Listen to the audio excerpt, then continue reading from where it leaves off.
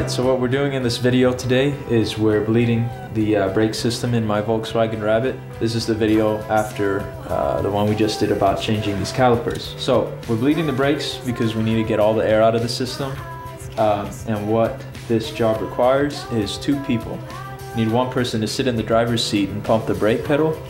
And then the other person, which is what I'm doing right now, is here to open this uh, valve here um, to watch for air bubbles that escapes. And what we have here is we just have a regular jar and a clear hose that you could find at a aquarium shop. And you want to have it clear so that you can literally see the air bubbles come out from the valve.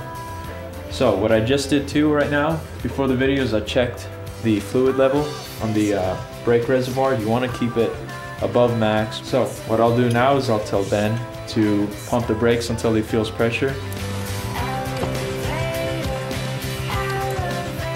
All right, so now I'm going to crack it open just a little bit and he's gonna wait. He's pressing down on the brake pedal right now and he's gonna feel it drop until it hits the floor and then he's gonna yell out either bottom or floor and then I'm gonna close the valve. And you should be able to see air bubbles come out. All right, man, I'm gonna crack it open.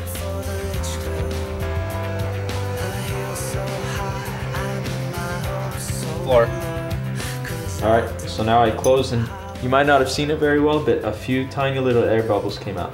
So you want to keep doing this until you're 100% confident that you got as much air as you could out.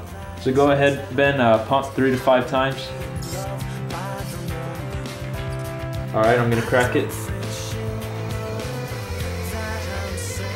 Floor. All right, I'm closed. So I didn't see any air bubbles in this one. Uh, so we're gonna do this maybe two or three more times until we get a steady flow out and we don't see any more air bubbles. Right, I'm closed. Go ahead and pump it again.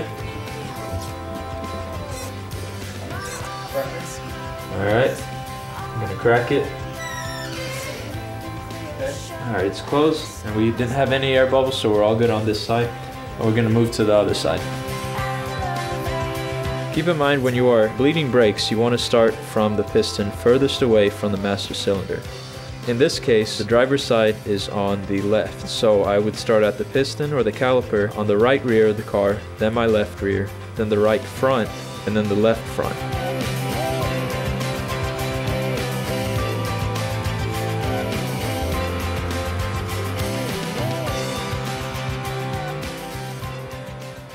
Benville!